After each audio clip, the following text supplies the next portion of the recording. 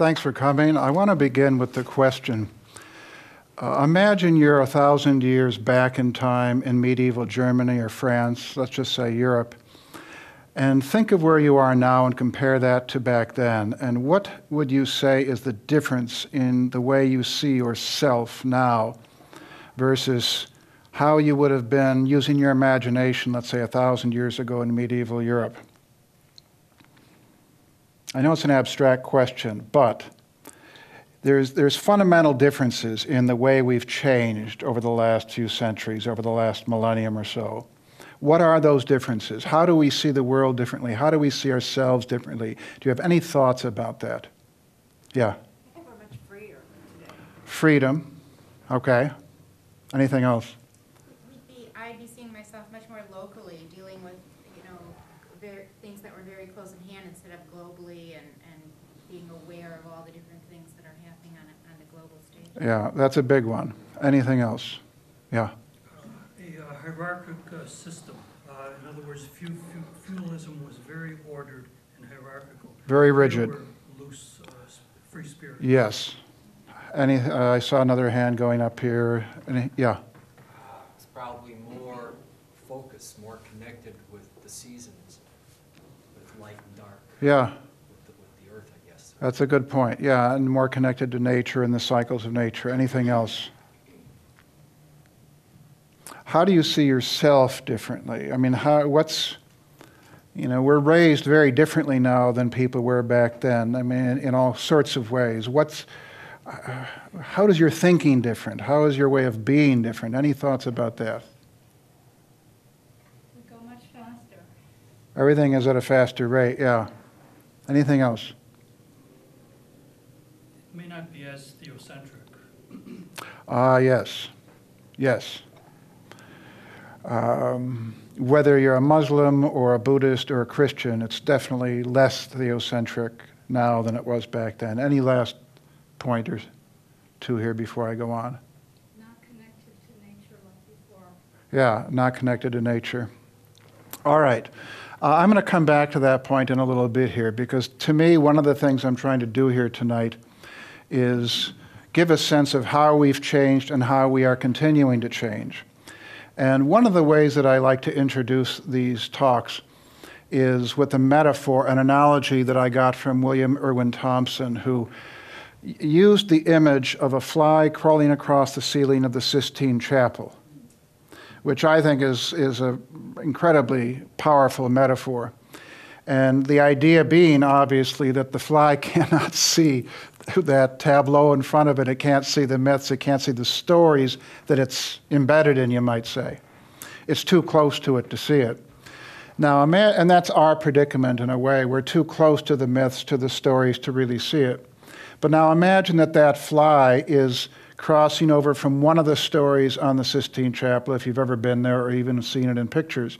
It's crossing over very slowly from, let's say, the story of Genesis over into another story. It wouldn't even know that it's making a transition in terms of the story that it's part of. And that's kind of where we are right now in terms of we're transitioning between archetypal stories, mythic stories. And there are certain ways of understanding what those stories are, as we're going to talk about here. But first, I, want to mention uh, the question sometimes comes up why is it important to know this? It's important to know it because we're shaped by these stories in virtually every aspect of our lives our lifestyle, our, even our relationships, our way of thinking, um, our careers, our uh, fears, everything.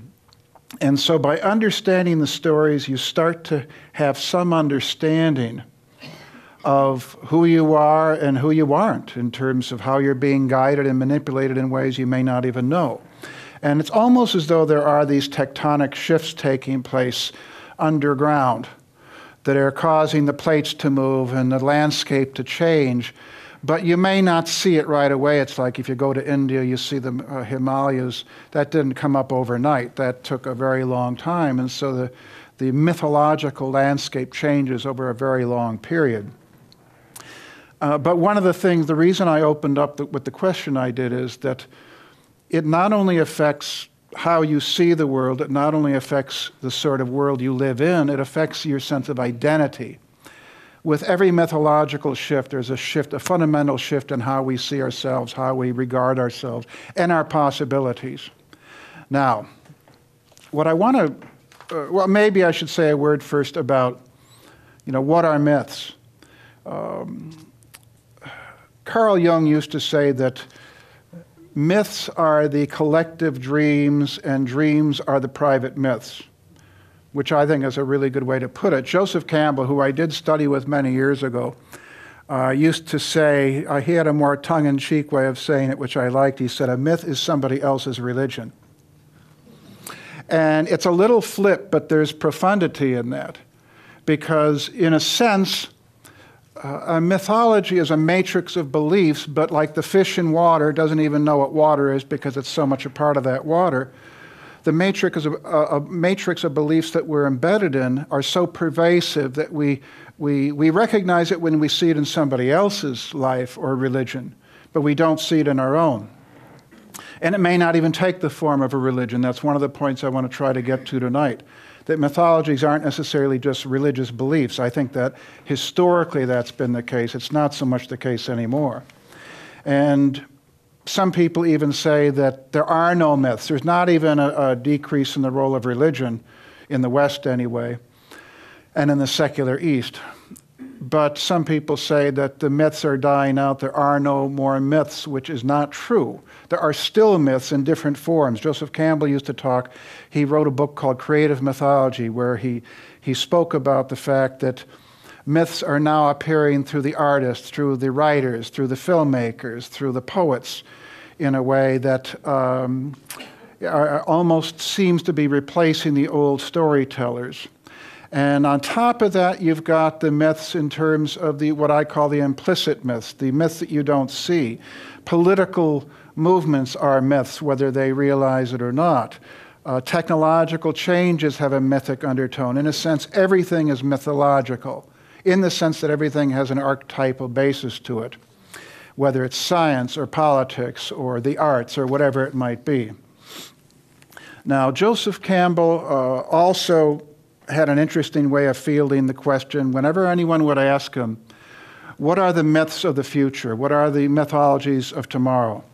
And he used to say that we can no more know what the myths of tomorrow are than we can know what we're going to dream tonight, which I don't agree with at all. And the reason I don't agree with that is that you can, if you know how to read the signs, you see what the myths are. An analogy for that is summer comes along and then suddenly the colors start to change. And you if you know the nature of the cycles if you know the nature of the seasons you know that fall is coming and you understand what fall is. And then when the leaves start falling from the trees and the it starts getting cold and the snow comes out the first snowflake comes on the ground you know that winter is coming on it's the same thing with mythological shifts. There are the signs and the symbols that start appearing. Now, we have an advantage. As an astrologer, we have, astrologers have a bit of an advantage in that we can chart what those larger mythological changes are. So, for instance, uh, we talk a lot in the astrological field uh, about the great ages the age of Pisces, the age of Aquarius, the age of Aries, and so on. And each age that comes by produces a major shift in our identity, a shift in the way we look at the world, the shift in the things that we're curious about. But it's so all pervasive, like that water that the fish swims in, that we usually don't see it at the time. It's after the age has passed that we see, oh, yeah, that's right. So, for instance, we've, um, well, I should probably say a word about excuse me, the technological astronomical aspect of it. The ages run roughly 2,100 years long, each one. That's a rounded off figure. And the whole round of ages, the great year, is roughly 2,600 years. There's some variance in there because of astronomical factors. But starting roughly around the time of Christ, we have been in the age of Pisces, which is uh, the 12th sign of the zodiac and that's where the vernal point, the, the wobble of the earth, causes the, uh, uh, the Earth to be pointed towards a, um, um, a certain constellation. And it's been moving through the constellation of Pisces roughly for 2,000 years. And it's slowly moving backwards through the zodiac and in a, in a different direction than the sun moves. It's going backwards into Aquarius. And there's varying dates on that. Some people say it's 500 years off, some people say it's 500 years ago. I think it's like saying, when does the sun come up at dawn? Is it when the light first starts appearing over the horizon? Is it when the, you see the first little glimmer of the sun's orb? Is it when the sun is already up? It, it comes in waves. It's like the tide. Uh, when, what, if you have a watch and you look at the tide, what moment does it come in? It doesn't come in at a moment, it comes in in waves. It's the same thing with an age and it's determined by things like planetary cycles. We're in one of those waves right now with Uranus squaring Pluto. You know, major outer planet aspects seem to usher in the ages. But the, let's say a little bit about the age of Pisces. Um, the age of Pisces, it's a water sign. And so that one of the things that that tells us is it's, a, it's an age of emotionality. Every age has emotionality, of course, but it's an age that's predominantly one of Piscean water, Piscean emotionality, which is to say it's an age of, on the good side, because every age has its good and its bad. The Piscean age has a lot to do with compassion on the positive side. It has a lot to do with belief. The signs Sagittarius and Pisces are, are ruled by Jupiter and Neptune, and that's ideological, it's belief, it's dogma. So it's an age of religion.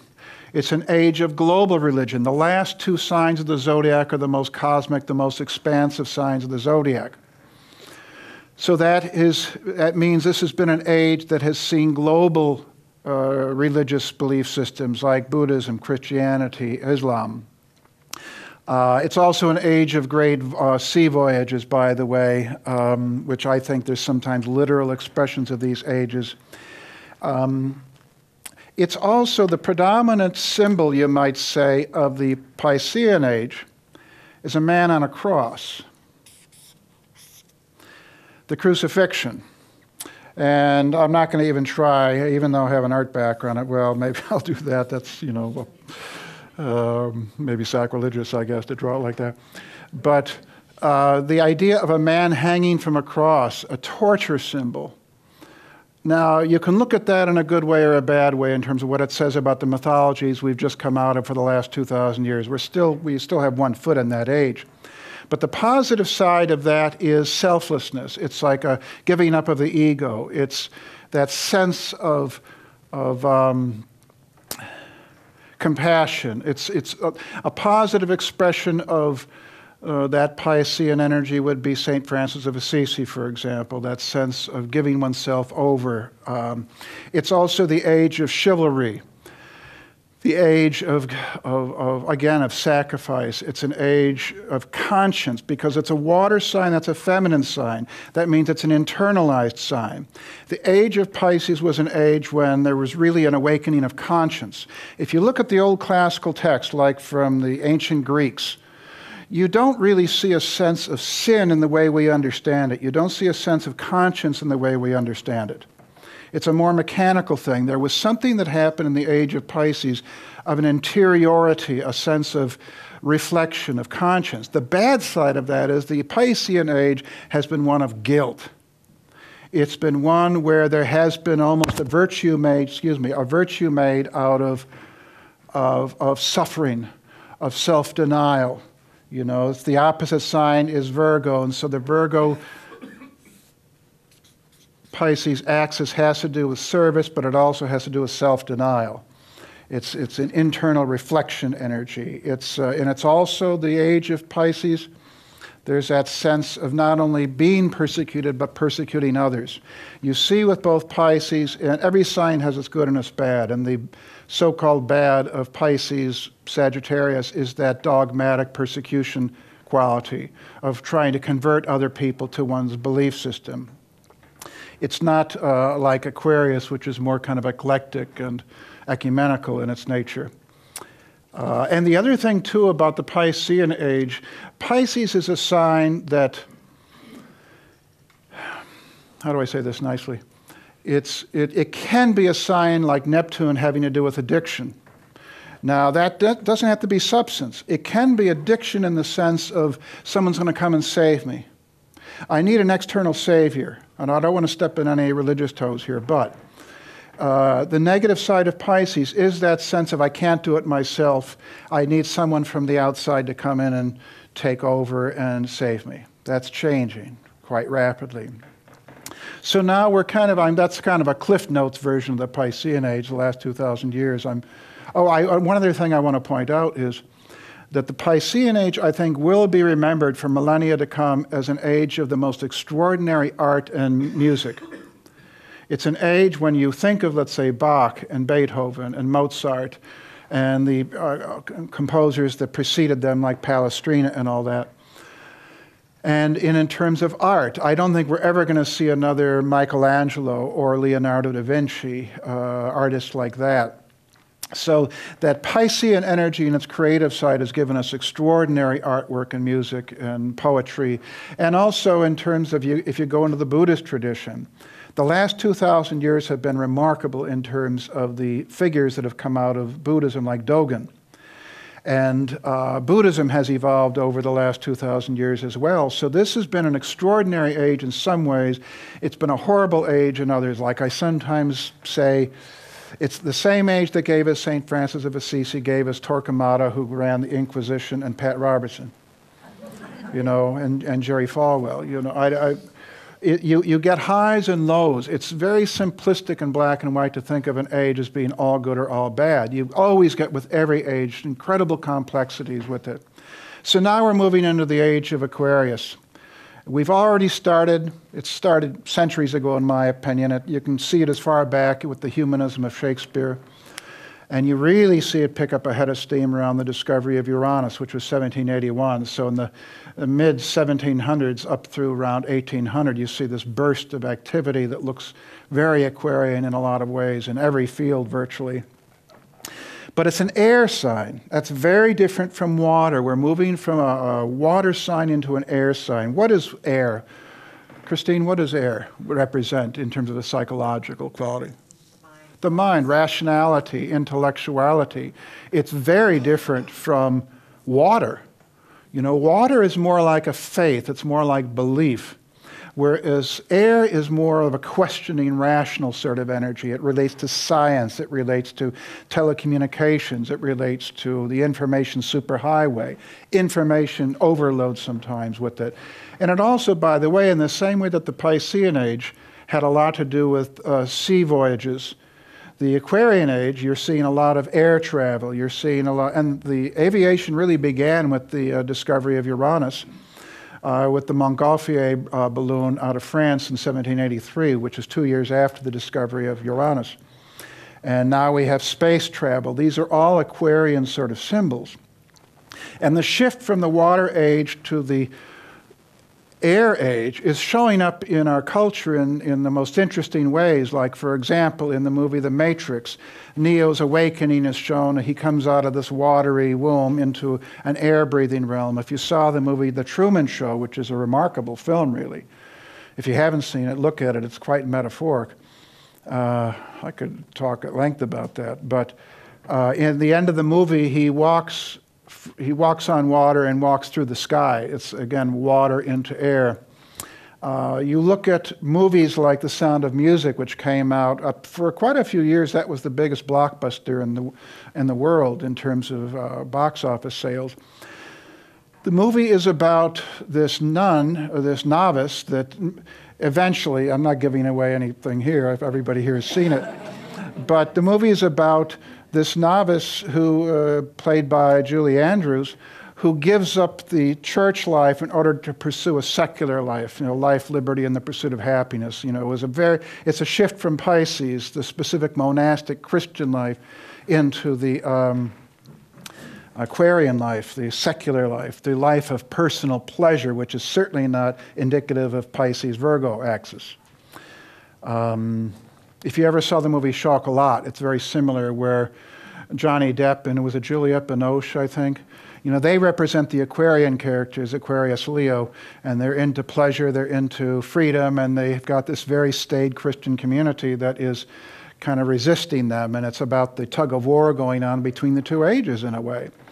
Uh, the movement from slavery to freedom, which happened uh, in the West, we think of it primarily associated with the Aquarian Abraham Lincoln.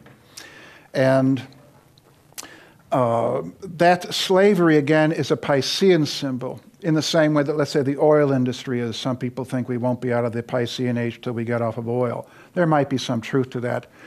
But certainly, slavery, the abolishment of slavery, is an extraordinary, although we have slaves of a different sort now, unfortunately, but uh, in various ways. But we basically got rid of the old school slavery, shall we say. And uh, by the way, and it's interesting that Abraham Lincoln was born the same day as Charles Darwin. And they both have a strong Pisces Aquarius energy in their chart. And they both signal, they both ushered in revolutions. Uh, Abraham Lincoln ushered in the revolution in the United States between from slavery to freedom, and Charles Darwin ushered in the, the transition from Pisces to Aquarius in terms of the transition from uh, the old school way of creation myths and looking at the world to the scientific worldview. And so the two guys born on the same day really had allied sort of destinies, you might say. Uh, 9 11, you know, you look at the terrorist, uh, and I don't want to get too heavy into this because it's, it's very complicated, but you look at the war between the secular West, or the, I might, you know, maybe I should say the secular modernity versus uh, the old school sort of uh, religion, whether that's Islam or whether that's fundamentalist in America or around the world. And that is a battle between the Piscean age and the Aquarian age. You know, this is manifesting in all sorts of ways. Uh, but it really relates to a, a, a, a, shift that's taking place inside between rationality and emotionality and trying to find a middle ground there. And that's key. What is there a middle ground? Because some people talk about, if, like if you read books on esotericism, on the shifting ages, they talk, for example, about Moses casting out the, the golden calf as being a symbol from the movement of Taurus age into the Aries age. You know, because he was more or less saying, the occultists believe he was saying that's, that's of the past, we need to move on to the bull age. And I mean, uh, we're moving on from the bull age to the ram age. And of course, the, the, the symbol of the Aries age was the, the, ram. And you see Alexander the Great depicted on coins with the ram's ears. And the, the, the Old Testament, there's a lot of ram symbolism. And so there is that element of casting out, but that's just one of four dynamics, I think. The one dynamic is the old resisting the new, like, for example, the Roman Empire not liking the new Christians and therefore persecuting them. That's the Aries age resisting the, the Piscean age. The new resisting the old, because the new one may not like the old one. And so, for example, um, uh, what would be a good example of that? The new resisting the old would be, for example, Waco, Texas, where the government in 1993, when Uranus conjuncted Neptune, uh, the government came in and wiped out the compound in Waco, the uh, David Koresh compound. I'm not getting into the politics there. I'm just saying the symbolism is that of a secular Aquarian government uh, going against a, a, religious compound. And you can make up your own mind about, you know, the right or wrong of that. That's not what I'm trying to get at here. The old embracing the new. In other words, it doesn't have to be a necessary schism. It can be where the one embraces the new. You take, for example, televangelism that is a good example of the Piscean age religion taking the elements of, of technology and using it. You see the same thing in the Islamic world, for example, where they're using um, modern technology and Skyping and, and Twitter and all these sorts of things to communicate religious uh, methods and ideas. Another dynamic, the fourth dynamic, would be the new order embracing the old. And I like to look at the movie Schindler's List, which is about a businessman, uh, a very secular entrepreneur who more or less uses Piscean compassion to save a bunch of Jews that were destined for, the, uh, for death in the concentration camps. So you can have many different dynamics there in terms of how these two different ages interact. It doesn't have to be a conflict. But let me say a little bit more here about the, the Aquarian Age because the Aquarian Age is also a, a, a sign, an archetype having to do with groups. Now, so does the Piscean Age. These are the last two signs of the zodiac, and they have a lot to do with collectives, with groups.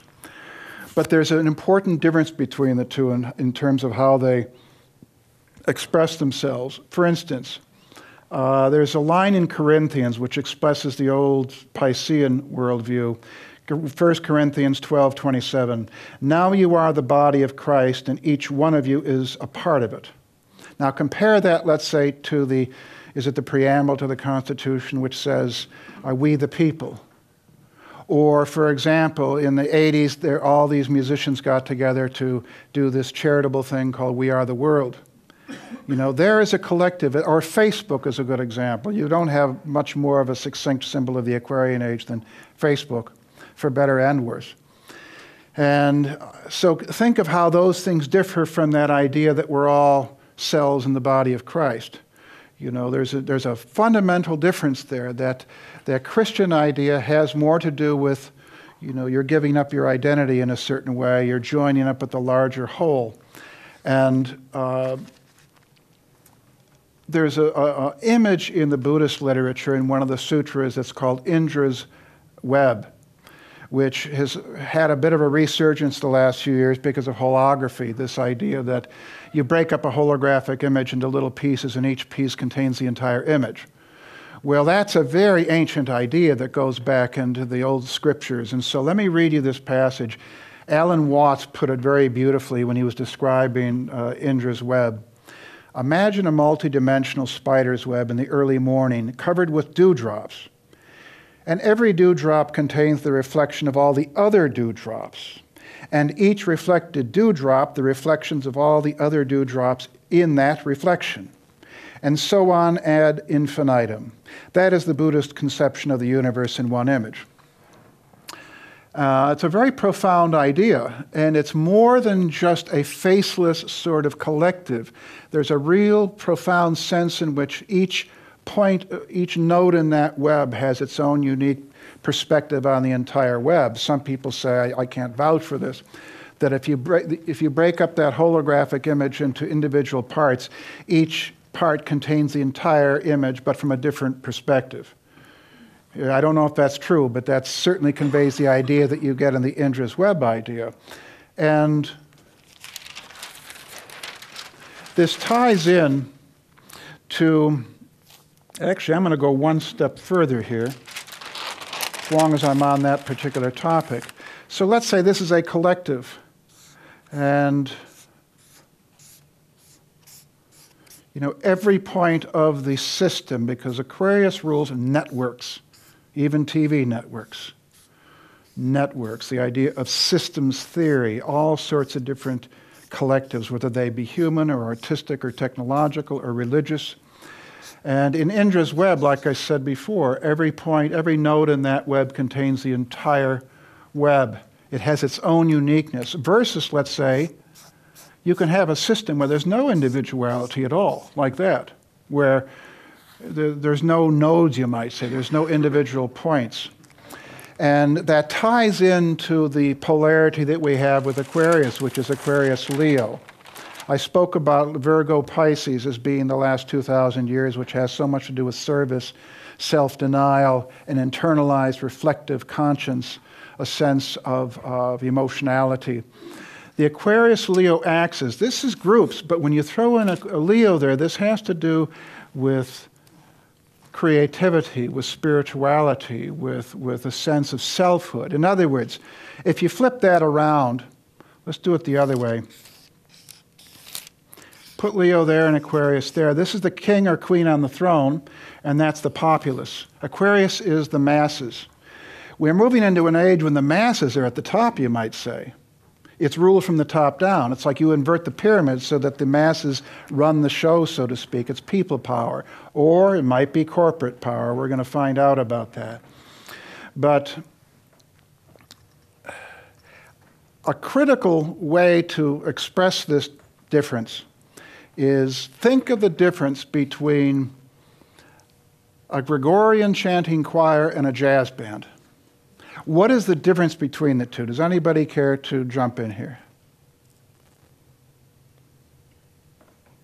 What distinguishes a jazz band? Choir chant is all kind of on one altogether, the jazz is more of, of everybody doing their own thing.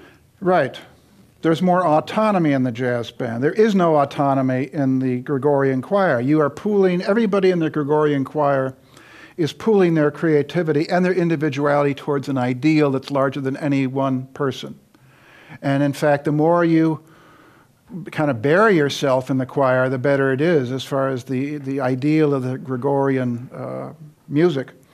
Whereas in a jazz band, you're allowed, it's a group dynamic, like the Gregor- Gregorian choir, but it's, you're allowed to have your creativity, you're allowed to express yourself, and you're allowed to improvise. You don't improvise in a Gregorian choir. And that becomes the jazz band becomes a, uh, to me, the skeleton key to the Aquarian Age, and it becomes a skeleton key to what we're dealing with in mythologies on all sorts of different levels. So, for example, take economics. Capitalism is the jazz model applied to money. In other words, in the capitalistic system, ideally, every person has the right the opportunity to become an entrepreneur and to forge their own destinies economically. As opposed to, let's say, during the age of fiefdoms, where a person was under the thumb of the king or the lord of the, the manor, that sort of thing. You did not have the freedom to do what you wanted to do financially. So capitalism, which really modern capitalism, it's been around as an ideal for, as an idea for a long time, but you you look back, and Adam Smith's Wealth of Nations was a very important turning point, which was around the discovery of, of it was either 1781 or 1776, interestingly, that that came out. So economics expresses the jazz idea. In creativity, we see the jazz idea not just in music with jazz, well, we see it also with the Beatles. The Beatles are an interesting phenomenon as an archetype of the Aquarian age because they're not faceless individuals. They started out with like business suits, you know, the same sort of outfit and the same kind of haircuts. Then they branched off very rapidly into being four very distinct individuals, each one of which was creative in their own way. Uh, you see now in society all kinds of individuals becoming creative. There's, I saw a workshop not long ago, how to tap into your inner Leonardo da Vinci, something like that. You're seeing the democratization of creativity. It's not just the artist that goes off in the loft in Paris. Everybody now is trying to become creative. You see this with Instagram, you see this with Facebook. Everybody's trying to become creative and also very narcissistic in the process. That's, uh, that's, the, that's both the good and the bad of the Aquarius Leo axis. There's that sense of, of creativity and personal empowerment, but it, it, it, can easily go off. That Superman idea that Nietzsche talked about, and then the Nazis perverted that, and it became this idea of the Aryan uh, ideal. Um, that's what happens when Aquarius and Leo get a little bit out of hand. Self publishing is a big thing now. This idea that anybody can publish their book, anybody can write a blog.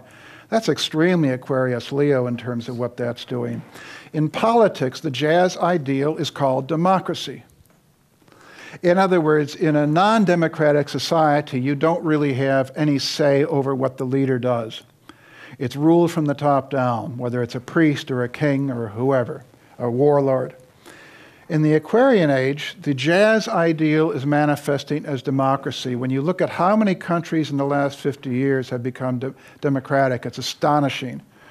You know, in 1950, there were very few countries that had any democratic rule. Now you have them all over the place. It's not always, you know, honest democracies, but the idea is seeping into the, into the culture. But democracy is the jazz idea in the sense of everybody has a say in the process, ideally. Everybody can contribute, everybody can play their instrument in the, in the uh, chorus, shall we say. And in a way, you could say that, um, well, I'll get to America in a second there, but. Um, well, this is actually a good spot to bring it up. The United States is the embodiment of a lot of these trends. The United States came about at the intersection of three historical streams uh, modern democracy, capitalism, modern capitalism, and the technological industrial revolution. And it embodied this Aquarian mythos, this, this idea of freedom of creativity, uh, life, liberty, and the pursuit of happiness. You do not see that, as far as I know, in any Constitution or Bill of Rights anywhere in the world prior to that. This idea of we have a right to be happy. We take that for granted, and that was a radical idea when they came up with that. And of course, the, the, um, uh, the, the music that America gave to the world is jazz. Well, jazz and blues, but they're very similar in that respect. And so America is the cutting edge of the Aquarian Age. America really was born with the discovery of Uranus, which rules Aquarius. And America embodies that ideal of freedom, of that sense of that Horatio Alger sort of can do spirit. You know, there's the flexibility between classes. Prior to America, you still to this day, and maybe there are some people that were raised in England here, but you still to this day hear from people that talk about the class system is still very rigid in parts of Europe and England. And they come here to America, and there's that uh, mobility that they did not have over there. And that is, that's, that's something that America has given the world to some extent. It's not as true anymore. There was a study that came out not long ago that showed mobility is way down in America compared to other countries like Sweden and all that. But uh, America also brought in a certain spirit of narcissism, a certain sense of me. You know, you look at America on the world stage and how it's that sense is that myopic sort of sense of you know not being aware of anything that's outside of the boundaries of the United States. So America embodies the good, it Amer- embodies the bad, I think, of the Aquarian age. But the bottom line, I think, is that sense of personal empowerment, that sense that to this day people try to get to America from other countries. There's still that sense of seeing America as the beacon, you know, that sense of possibility of the future. You know, that it may not realize itself in reality when they get here, but it's. Uh, it's certainly the symbol of that ideal, America is. And this jazz ideal also applies on the level of spirituality and religion. The idea that um, the idea that you can tap into your own personal godhood. Yes, that was always there in the religious traditions of the world. But now it's becoming so common that you can turn on, let's say, or at least I could have when she was on, you could turn on Oprah Winfrey and you could hear them talking about the God within, the, the, personal God. That is not something they would have said a thousand years ago in Europe without being burned at the stake. You know, it's this idea of it's inside, it's a democratization of divinity. It's the jazz ideal in the sense of you know, we each are our own gods in a certain respect. It's, um, we're not the children of God so much as the co creators. It's a very different mythology that's emerging, and it's very similar to this. In other words, the old school approach to religion is more so the hierarchical mode, you know, with God up here and, you know, us poor humans down there. Now it's becoming more of the kind of the horizontal sort of mode of the, the jazz model. Yeah, there may be a, there may be, even if you believe there's a Louis Armstrong leading the band, uh, he was a Leo, by the way, uh, you, you have this sense of you're a participant in the process. You're not, you're not taking orders, so to speak. You're not subservient. You're a, a co creator. And the Aquarian Age is not the loss of religion. Some people think, and I've read this in a few different books, some people think that the Aquarian age is the age of science, which is true, it is the age of science and technology. But that doesn't mean you cast aside the lessons of the previous ages. It doesn't mean you get rid of religion. The Aquarian age is more about the freedom of religion. It's more about being able to choose. In the old days, you, you went to the church that your parents uh, were, uh, they went to. You, you went with the mythology that was given to you at birth. Nowadays, you can be born a Christian and become a Jew or a, a Muslim or a, um, a Hindu, whatever it is. That's relatively new. Uh, there are pockets of that in history, but it's now something that is very common. And to a certain extent, the Theosophical Society is an embodiment of this jazz ideal in the sense of you don't have to subscribe to a certain religion to come here. You can be a Buddhist, a Hindu, a Native American, anything, and still be a member of the Theosophical Society. It's quite similar with Unitarians, it's somewhat similar with the Baha'i, as I recall. So it's not exclusive to the Theosophical Society, but it's this ideal of the jazz model of individuals coming in and partaking of, of um, of a certain shared framework. You know, like the jazz musicians will be working with a certain piece of uh, a musical score. They're not working, they're not flying with, they're not, uh, how do they say it, flying without a net, I'm not sure. There's some kind of structure there that they're working with. But it's a broad structure, like the three objects in the Theosophical Society. And John Algeo used to talk about the Wizard of Oz, and I think that is one of the emblematic mythologies of the Aquarian Age. And he was very insightful the way he pointed out the fact that uh, he first of all found out that uh, Frank Baum had uh, been a member of the Theosophical Society. He joined in 1892. He wrote about Blavatsky's writings for the Kansas City Star. So he was, he was steeped in esoteric literature. And he writes this story that's come down to us where uh, when Dorothy gets to the end of her journey, she doesn't say, I've found Jesus, I've found Buddha. She says it's, she discovers it's inside of her. That's a very Aquarian sort of idea. It's that Aquarius Leo axis. And um,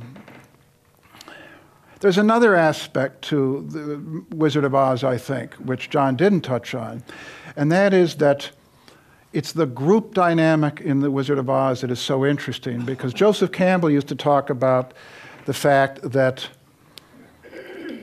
he liked to talk about the Arthurian legends, and there was one particular variant of the Arthurian uh, stories, a French variant. I don't know, I don't remember how it's pronounced.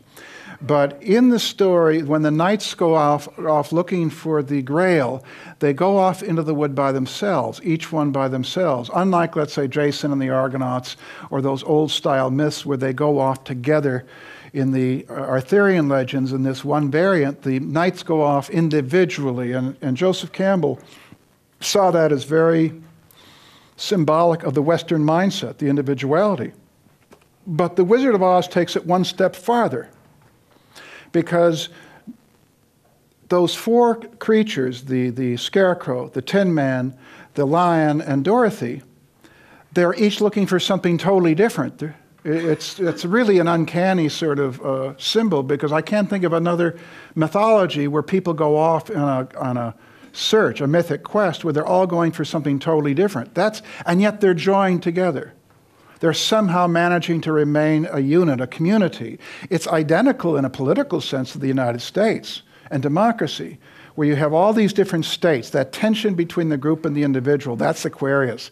People sometimes say, is Aquarius the, the group or is it the individual? It's both. It's the tension between the two, and there's always that tension. You see that in the United States between the states and the federal government. You know, that all the stars on that flag represent the individuals, and each one might have a different sort of, like the jazz model, each one might have a certain goal, but they've got to remain within the Constitution. They've got to remain within that basic sheet music.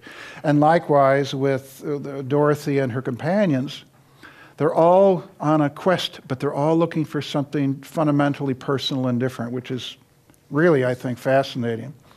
Now, so that, that touches on another point here, which is that do the myths simply recycle through the ages? Are they the same at all times? And that's one of the ideas that you hear from disciples of, of, of Joseph Campbell. And the idea really is that, well, eh, eh, there was a, a German ethnographer named Adolf Bastian. He was the first one that made the distinction between ele uh, elementary ideas and uh, local ideas, if I remember that correctly. And elementary ideas are those universal principles and themes in mythology that you see around the world, Like if you look at, for example, Hamlet, you see it's the same basic story as Osiris. You see it's the same, and, and, and uh, Horus and uh, Seth. It's the same basic story as Krishna, the evil uncle. It's the same basic story in Disney's Lion King. But the thing is that as these fundamental ideas circulate through time, they take on local inflections so that the story of Christ on the cross is not exactly the same as Mithra, is not exactly the same as all the other crucified kings. There's subtle differences. And likewise, these stories come down to us, like Superman, for example, which the new movie is going to be coming out shortly. Superman embodies the hero, but notice he doesn't have a divine origin. He comes, he's an alien. It's interesting that one of the fundamental myths of popular culture is about an alien coming to save humanity. Make of that what you will. Uh, but he's, it's a secular myth. It's not a divine origin. It's a man that comes from another planet. He's got superhuman powers, but he's not a divine agency. That's, that's very Aquarian. You see another thing with um, Day the Earth Stood Still. Many years ago, I heard Robert Wise speak on the uh, north side of Chicago. He directed the movie Day the Earth Stood Still. And I asked him if the parallels between his movie and the story of Jesus were intentional, and he said, no, we weren't at all aware of it. But after the movie came out, religious writers started to point it out. You have this guy that comes down, Michael Rennie, if you remember the movie. He comes down, he's crucified, he's raised from the dead, and he goes back up into heaven. It's basically a replay of the story of, of Christ. But there are these differences. Again, he's not a divine figure, he's a secular figure from another planet. Uh, another example is 2001, the classic hero's myth. This man goes off, uh, Dave Bowman in the story, Kubrick's movie. He goes off on this quest. Everybody else dies on the ship. He's left. He goes through the Stargate, which is like going into Kundalini and in terms of these two walls going past. He's reborn. He comes back as a, a star child, you might say. It's, a, it's the Campbell arc, you might say, the hero's arc. But Along the way, like in most heroes' tales, you encounter an obstacle. You encounter a dragon, for example. But in the movie, what does he encounter? The Bowman, the astronaut, encounters a computer named HAL. And if you move each of those letters down one step in the alphabet, you get IBM, by the way, which is kind of funny. Um, so he encounters a computer, not a, not a beast, not a creature like a dragon, but a computer a very high tech, very brainy computer. The, the, the, the dragon that we're facing now is different from the dragon that people faced 2,000, 3,000 years ago. Now we're dealing with the challenge of the mind. We're dealing with information. We're dealing with you know, the, the potential problems that the brain has in terms of uh, that's the gatekeeper, so to speak. And, you know, in the movie, to get into that Stargate where he has that transcendental experience, he's got to deprogram the computer. He's got to shut it down somewhat, not totally. But that's kind of like what meditation's about in terms of to get into the transcendent state, you've got to turn off the mind and try doing that after being on Facebook all day. You know, it's the mind is racing, racing, racing, racing because of all the data we're getting. That's the thing about the Aquarian age. It's an embarrassment of riches. There's so much data, so much information, which is a great thing. But like anything, it can go to extremes with that. Uh, so, what I'm going to do is wrap up a little bit here and talk about what I'm saying by all this. And like I started off saying, that with the question, how do you think differently? How do you see yourself in the world differently than someone in Europe a thousand years ago might have seen themselves in the world differently? And there's certain things that come up, for example, and some people suggested these when we started, such as we're more rational. We're more intellectually oriented. There's more critical thinking, I think, in terms of people not simply accepting authority, not simply accepting belief systems. There are still, of course, holdouts that, that believe anything that comes to them, especially on the internet. You know, you can get all kinds of ideas that you can buy into. But as a general rule, people are more rational. Uh, someone pointed out about the global connectedness. We're global citizens now. In the old days, people had a very local, provincial way of looking at the world. And now the mythologies are telling us, and the reality is telling us, that we're no longer isolated in a local community unless you're living in a teepee somewhere like Daryl Hannah in, uh, in somewhere out west, I guess it is. Um, we're interconnected in a way that people 100 years ago couldn't have imagined as being possible. You can get online and within a split second you can be communicating with someone in Japan or India. You know, that's extraordinary. Uh, another thing is that sense of personal creativity. The technology and the educational system is making it possible for individuals to think that they too can be artists, whether they really ought to be or not is another thing. Uh, what is the, uh, the, the game in the online gaming system, you know, the sense of, in the old days, you'd play with some friends, you'd go out on the street and play with friends. Now you have people playing games with people. You know, that's the Aquarius Leo axis. Aquarius and Leo together involves group pleasures, but sometimes global pleasures and pastimes like online gaming with people in Japan and Alaska and, you know, Tierra del Fuego. Now, um, but that sense of personal empowerment, that sense of that I can do things that people generations ago wouldn't have thought possible, whether that's economically, whether that's creatively, whether that's politically. You know, this, uh, this sense of activism, this sense that I can make a difference in the world. Um, I mean, it, for better and worse. You look at people that rise up. Some of our presidents have come, like Ronald Reagan or Bill Clinton, have come from very lowly places. On the other hand, so did Adolf Hitler. You know, that, that sense of empowerment can go either way. It can give you great saints and leaders and great tyrants at the same time. So it's in and of itself not a necessarily a, a, a good thing, but it has to do with that Aquarius Leo axis.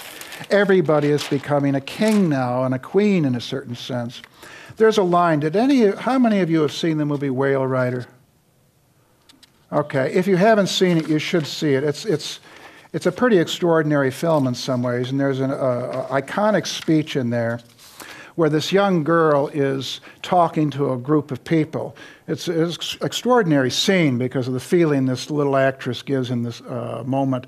And it, it's set in New Zealand, I think it is, with the Maori tribe. And, and it's about her trying to raise up, and even though women in those days were not considered to be on an equal terms with men, she was trying to rise up and become a, a, a figure in that community. And she gives a speech, and uh, I'm going to quote what she says there, which is extremely uh, interesting from an Aquarian mythological standpoint. In the speech, she says, But we can learn, and if the knowledge is given to everyone, then we have lots of leaders. And then soon everyone will be strong, not just the ones that have been chosen. You know, that's, that's Aquarian mythology. That's the idea, potentially. That, that's the jazz band idea. It's no longer about a top down leader at the top of the pyramid issuing orders. Everybody can become a leader, even the women, and that's the other thing. We, our roles have changed. There's more flexibility in terms of our ability to rise up out of our class, so to speak, where we were born. Uh, but that's especially true for women in terms of, I was talking to someone today uh, a woman about some of these ideas, and she was saying that in her lifetime, 50 something lifetime, she said the change she has seen in her lifetime in terms of women's roles and what women can do has been extraordinary. Obviously, it's still not enough, but compared to where it was, let's say, in 1950, it's, it's an unbelievable shift. Another thing that um, well, this ties in with that idea, the, the notion that there are no fixed roles. That you know, in the old days, you, you did the profession that your father and your grandfather and your great grandfather did. And now there is more of that flexibility. It's getting a little bit crazy, though, in terms of that um, the roles are so unpredictable now that you don't even know whether an education is going to give you a job, you know, 10, 20 years down the road. Um, and, and of course, the, the, the bottom line here, there is an element of freedom that it's very easy to take for granted. I was talking to a fellow not long ago that had to serve time, three years in prison for a drug related charge. Very nice guy, actually, but he got in way over his head with the drug dependency and he got, you know, thrown in prison. Um, and he came out of prison and he told me a funny story. I thought it was funny. He was taking the bus from the prison with a bunch of other people that weren't from prison, he thought. And the bus broke down. And he was heading from one part of the country to another to be with family members. And he said he got off the bus and he said he was just ecstatic. He didn't care if the bus broke down, he was ecstatic not to be in prison. And he saw another woman. Everybody else on the bus was grumbling about, oh, you know, they were all unhappy. This is the worst thing that's ever happened to anyone. And, but there was one other woman about his own age that was on the bus that was also looking very happy. And she came up to him and says, What were you in for? Great story. Because they both were the only ones that realized how great it was to just be out and free, but everybody else was grumbling about, you know, the fact that the bus had broken down. And it's so easy to take for granted when you're raised in a country like America, that sense of freedom. And that's part of the mythology. We're living that mythology, whether we know it or not. We're embedded in that. Now, um, that's pretty much what I wanted to say. There, let's open it up to questions. If anybody has anything they want to throw in or ask. Yes. Uh, just um, yes. In interrupting. We are happy to receive questions. Please wait for the microphone so we can record the question as well as the answer. This isn't exactly a question, but uh, I was thinking about jazz, that it really came from the black people yeah. who had been slaves. And I was thinking, the white people who came here were the Puritans. Yeah. And if we hadn't had the black people to, to give us jazz, we would have inherited whatever from the Puritans. Yeah. You know, it would be yeah. a whole different That's ballgame. a scary thought. Because they were basically religious fundamentalists. I mean, the pilgrims that came over.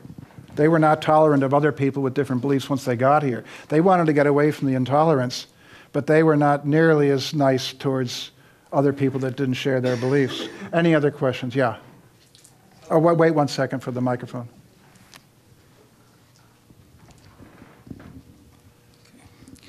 Uh, looking ahead a little bit, what kind of archetypes can we expect from the Earth signs? I'm not sure if I know what you mean. Uh, we'll be moving into Capricorn soon enough. Do you mean 2,000 years from now? Yeah. uh, I get that question occasionally.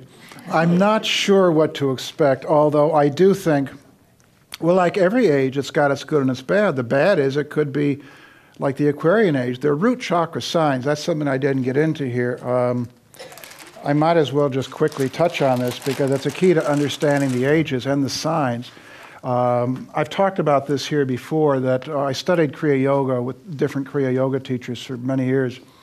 And they had this system that was given to them by Yogananda of the chakras, and that the chakras relate to the planets and to the signs.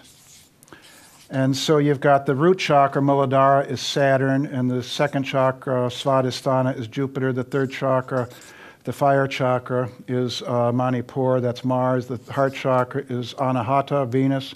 Throat chakra, fifth element, Quicksilver, Mercury uh, Vishuddha, I think it's called. And then actually, Yogananda talked about two chakras. The third eye is Ajna chakra, that's the sun.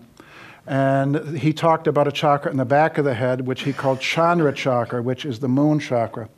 And so you have these seven points there, and they relate to the signs. Saturn is Capricorn Aquarius. Second chakra is Sagittarius Pisces. Mars chakra is Aries, uh, Scorpio, Venus chakra is Libra, Taurus, Mercury, Gemini, Virgo. The sun rules Leo by itself, the moon rules uh, Cancer by itself.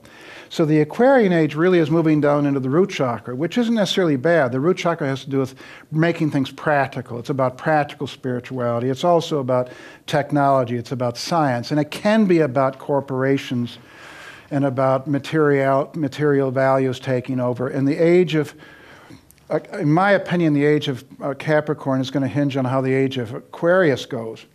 In terms of if the age of Aquarius turns out to be a, a, an age of interconnected corporations ruling the world instead of you know kings and queens and popes and Dalai Lamas, then I think the age of Capricorn will perpetuate that with business and you know. But there's always going to be good and bad. You know, you, it, it's, it's, it's dangerous to think of the chakras as good versus bad. You know, everyone has its own value. Yogananda was a Capricorn. And that doesn't mean he wasn't spiritual, or it doesn't mean he was materialistic. It means that he was trying to bring the teachings down into practical reality, practical manifestation. So it's a little tough to say 2,000 years in advance, but um, I mean, it could be, the Earth ages could be, some people think that the age of Taurus was about incredible monuments like the pyramids, for example, and Stonehenge. Well, actually, that's earlier, but um, I, am not sure what to say, but it's so far off that I, I, don't know what to say in detail about it. Yes, sorry. Uh, this gentleman yes. has a question. Uh, yes, and um, I wonder what you might have to say about the clashes that we're experiencing through this change from uh, not only Piscean to Aquarian, but generational changes. Uh, a lot of uh, people, uh, including me, have great difficulty um, connecting and understanding, working with the so-called me generation. Yeah. And uh, we have kids that are, or grandchildren that are part of a generation that we have a hard time understanding what they're really up to, and they don't Yeah. want to tell us what it is that they're up to either. So the uh, Time magazine, you know, recent issue of Time, Yeah. an interesting uh, uh, article study of the me generation.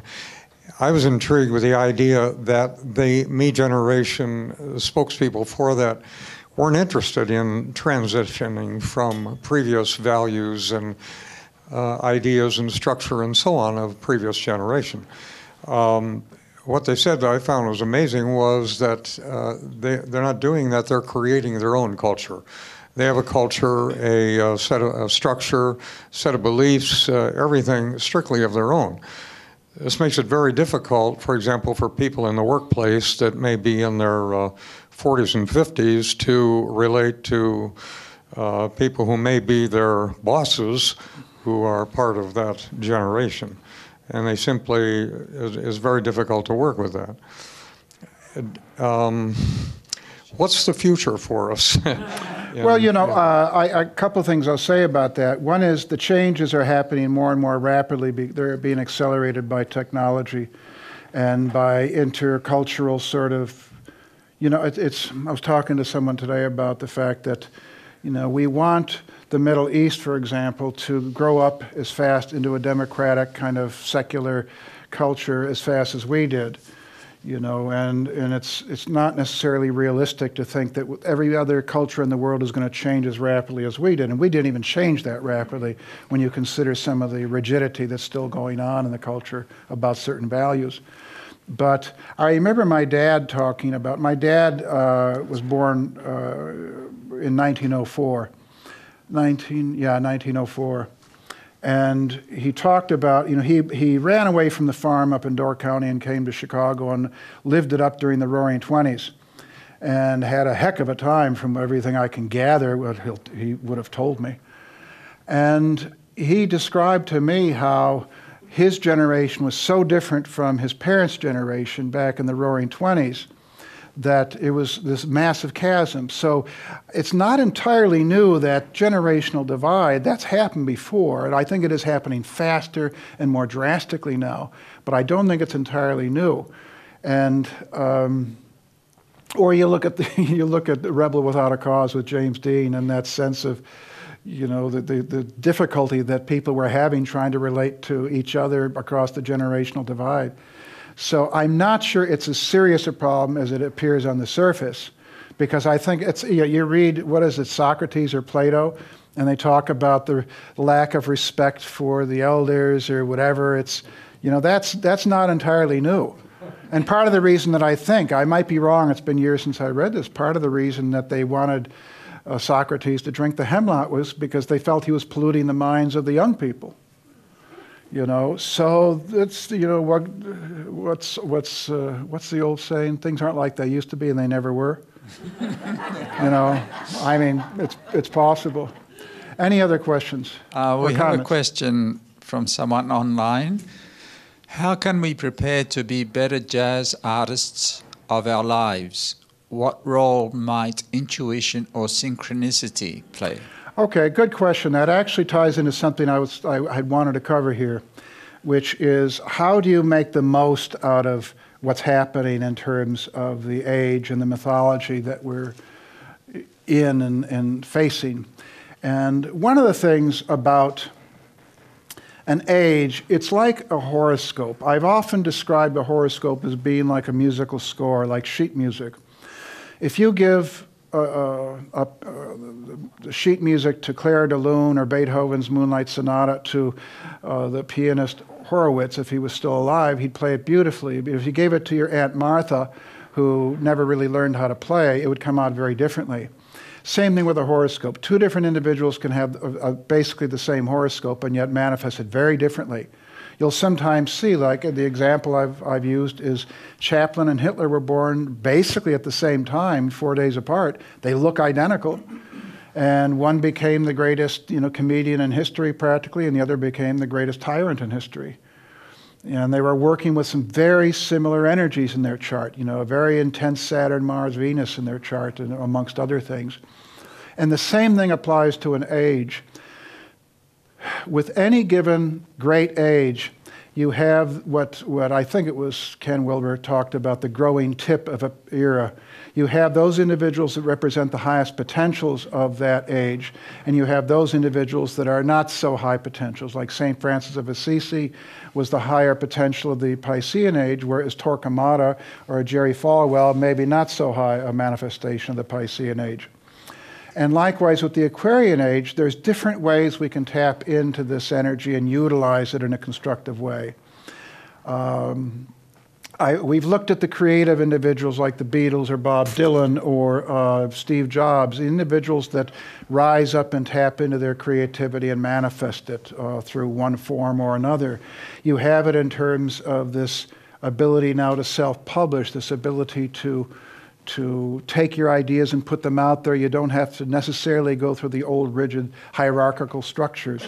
I think that Oprah Winfrey, whatever you think of her, is an embodiment. She's an Aquarius, by the way. And she's an embodiment of the potential of someone that can rise up from very lowly conditions and very bad conditions, actually, into a, a position of enormous influence and use the media.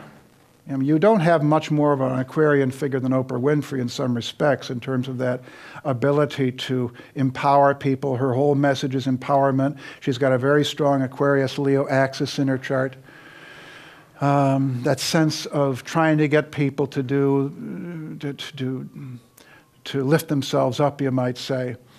Uh, you have businessmen, you have CEOs, you have entrepreneurs that are using their wealth for the betterment of their society.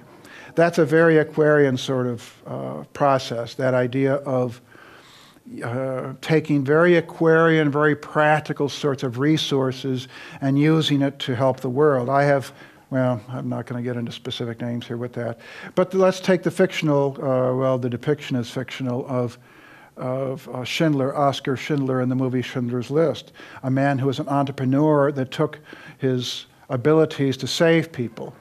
So it's not as though the Aquarian age is necessarily bad in certain ways with business or with that, that, me generation thing. All of these things that can go in a wrong direction with the Aquarian age, they can be used in good ways. They can be developed. You know, the, uh, getting back to your question there, how do you develop those skills? How do you really tap into the highest potentials? And one of the things that most mystics will tell you is that the, there has to be some sort of contemplative exercise, some sort of meditation or it could even be prayer for that matter, because one of the real challenges of the Aquarian age that we're already seeing is distraction.